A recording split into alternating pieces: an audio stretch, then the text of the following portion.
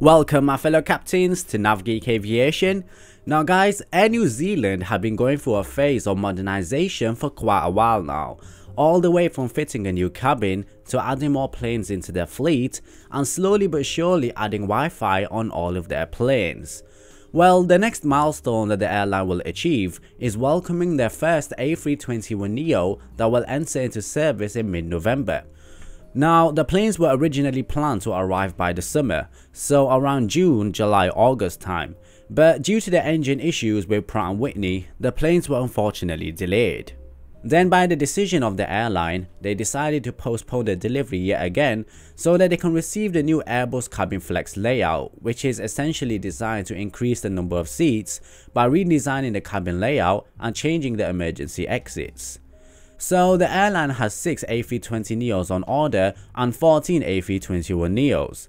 And the first planes that will arrive will be configured for international short-haul routes to Australia and the South Pacific for example. And these planes will seat around 214 passengers in a single class configuration. Now these planes will be replacing all of their current 30 A320s that they have in their fleets and the airline will move three of their planes from their short-haul fleet, allowing these planes to be transferred across to their domestic operations. Then these planes will be replaced by the A321neo aircraft on domestic routes by 2020 in order to improve the peak time capacity on some of their domestic main trunk routes.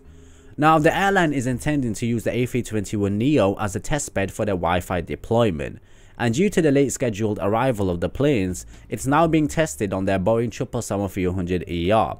Now, all of their A321neo aircraft will be fitted with Wi-Fi. However, Travel Talk, which is one of their suppliers, is saying that Air New Zealand is still to make a final decision as to whether they'll use Wi-Fi on all of their domestic planes. Now the first A321neo planes will enter commercial service in mid-November, while the first A320neo planes is scheduled to debut in February next year and the remaining aircraft will join their fleet throughout 2019 with their domestic A321neo planes expected to be delivered between 2020 and 2024.